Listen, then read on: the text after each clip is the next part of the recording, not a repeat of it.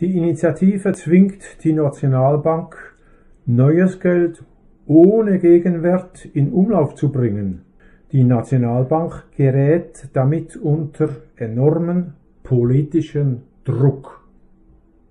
Richtig ist, die Nationalbank zahlte schon immer ein bis zwei Milliarden pro Jahr an Bund und Kantone aus.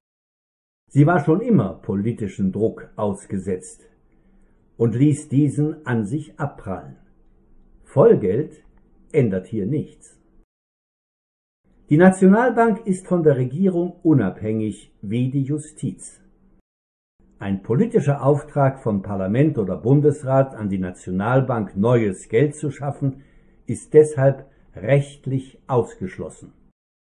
Die Politik kann der Nationalbank nicht dreinreden. Sie ist allein der Verfassung und dem Gesetz verpflichtet, welches vom Parlament demokratisch beschlossen wird. Das Parlament wiederum wird von uns Bürgern demokratisch gewählt. Das ist demokratische Kontrolle.